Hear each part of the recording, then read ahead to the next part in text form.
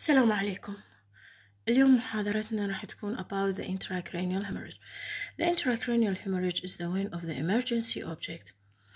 In this lecture, we know how we can diagnose the intracranial hemorrhage radiologically.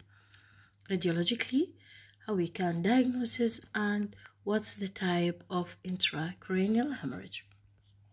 Bismillah. Simply, the intracranial hemorrhage divided according to location intracranial cavity into in extraaxial and intraaxial. Extraaxial hemorrhage meaning the hemorrhage is outside the brain parenchyma, outside the brain. So the hemorrhage is located between the bone, cranial bone, and the brain, in the space between the cranial bone and the brain. Intraaxial meaning the hemorrhage inside the brain, brain itself, inside the brain itself.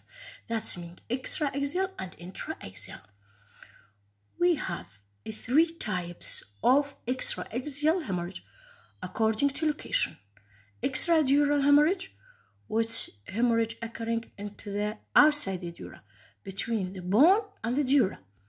Subdural hemorrhage, the hemorrhage locating under the dura, into the dural space, under the dura, in the dural space. Third, subdural hemorrhage, meaning the hemorrhage occurring under the arachnoid, sorry, subarachnoid, subarachnoid under the arachnoid. It's occurring into the arachnoid space. So we have three type of hemorrhage: extradural, meaning outside the dura; subdural, meaning in the dural space; subarachnoid, meaning it's in the arachnoid space.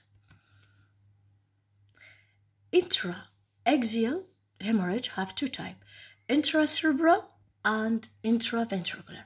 Intracerebral meaning the hemorrhage inside the brain itself. So it can be in basal ganglia, lobar, pontine, cerebellar, wherever. In the brain, it's called intracerebral hemorrhage. Intraventricular meaning the hemorrhage inside the ventricle. Hemorrhage inside the ventricle. So we have two type of intraaxial, intracerebral and intraventricular.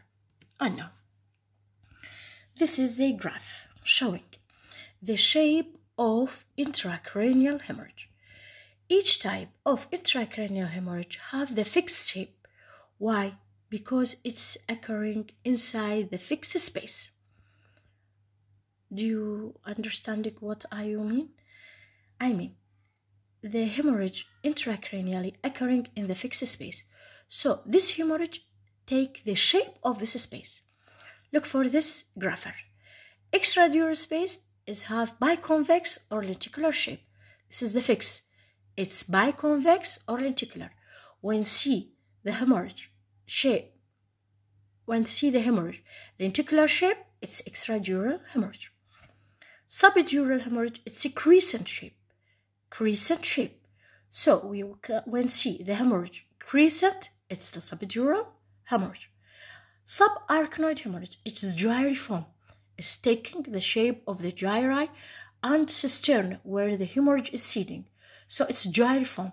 For when the hemorrhage is taking the shape of gyriform or is seen in the cisterna, it's subarachnoid hemorrhage. Now, intracerebral hemorrhage, there is no fixed space because it's bleeding, seeding in the ventricle. So it can be rounded, oval shape. Mostly it's rounded and oval shape. Intraventricular hemorrhage taking the shape of the ventricle taking the shape of the ventricle.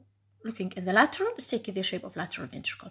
Third, taking the shape of the third ventricle. So each type of hemorrhage is have the fixed shape. Now, radiological feature or how we can diagnose the hemorrhage radiologically. First, the CT scan is the golden method for the diagnosis of intracranial hemorrhage. The CT scan is golden method for diagnosis of intracranial hemorrhage. Why?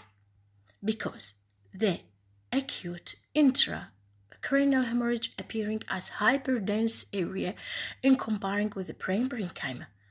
Okay? So the CT scan is the first idea for the diagnosis in patients suspected of intracranial hemorrhage okay although in the area of hyperdensity dependent on the amount of blood. When there is a large hemorrhage, there is a large area of hyperdense. When there's small hemorrhage, there's small area of hyperdense. But the hyperdensity is obviously to diagnosis. Hyperdense meaning is more bright, appearing as area more brightness than the adjacent brain parenchyma. So it's easy to diagnose it because it's more brightness. It's a bright area.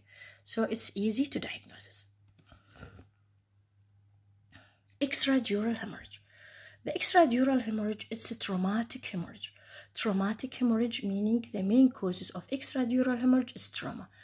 And also it's major trauma and big trauma. The patient have history of big trauma like road traffic accident, okay, fall from height. It's have a big history of major trauma and always is associated with a fracture of adjacent bone and this type of hemorrhage is arterial arterial type of hemorrhage this is the shape of extradural hemorrhage. And now, how we can read this image? This is the CT scan. First of all, the name of image. The name of image is CT scan, axial view of the brain. And now, how we can describe this lesion? This is the hyperdense biconvex area is seen in left temporal region associated with compression of adjacent brain and ipsilateral ventricle. The diagnosis it's acute, acute extradural hemorrhage. So this is the shape of extradural. It have biconvexity, the outer convex for the bone, the inner convex for the dura, and the effect of it it's causing compression or mass effect upon adjacent ventricle and ipsilateral ventricle, adjacent brain tissue, sorry, and ipsilateral ventricle. This is acute extradural hemorrhage. Now, subdural hemorrhage also traumatic hemorrhage, but it's causing due to minor trauma and it's venous type. Also occurring in two extremities of age, in old age and infant.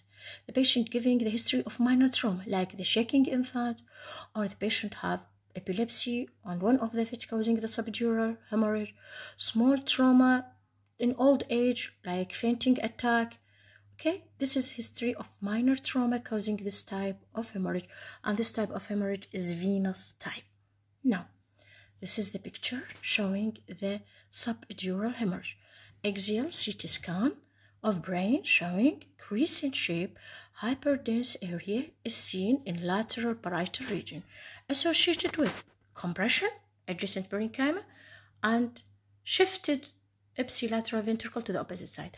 As we can see here, there is a face sulci. A face sulci meaning there's a swelling of the brain. As we can see, obviously, on the left side, the sulci is obvious. Falling with the CSF fluid is appearing hyperdense. While in the right side, there's a face absent of the sulci. This is the effect of trauma in the brain, causing compression and a phase of the sulci. Subarachnoid hemorrhage. This is the hemorrhage occurring due to rupture of intracranial aneurysm or head trauma. And this hemorrhage occurring in the arachnoid space.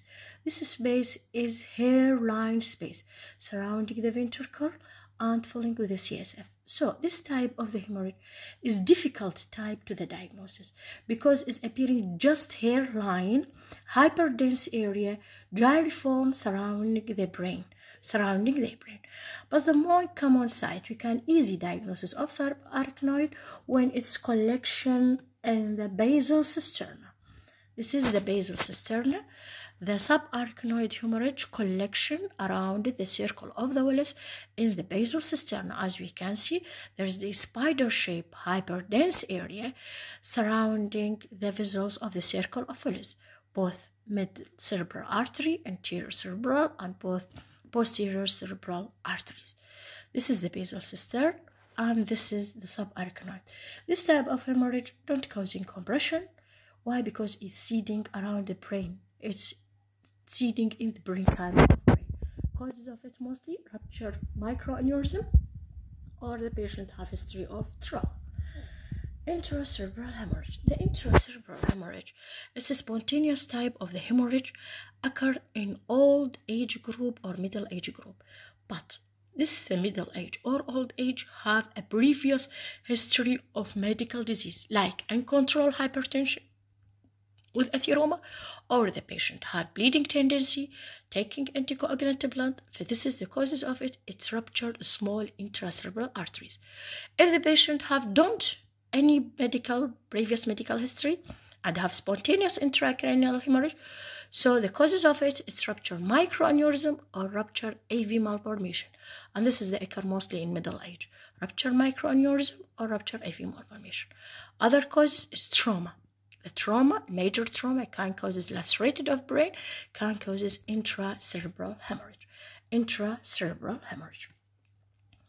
This is the CT scan of a brain showing rounded, well-defined hyperdense hematoma is seen into the left parieto-frontal region, causing severe compression adjacent to the ipsilateral ventricle and brain. And in this type of hemorrhage, as we can see, there's a hypodense rim, rim of hypodensity surrounded the hematoma. This is the rim is edema. This is the rim is edema.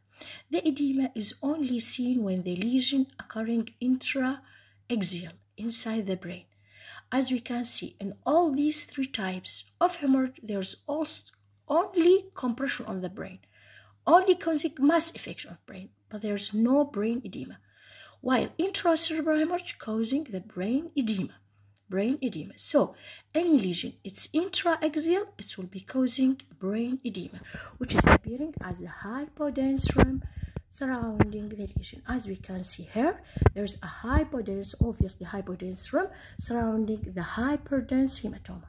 This is acute intracerebral hemorrhage. Acute intracerebral hemorrhage. Intraventricular hemorrhage.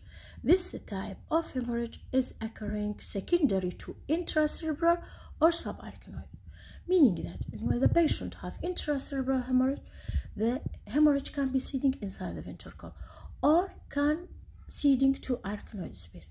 So we, when we see the intraventricular hemorrhage, we're looking for the primary causes, which is either intracerebral or subarachnoid.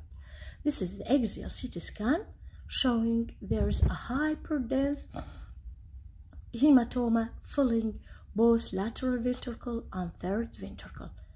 This is the acute intraventricular hemorrhage. Acute intraventricular hemorrhage, okay? Acute intraventricular hemorrhage. With best regard. Thank you for your patience. Thanks.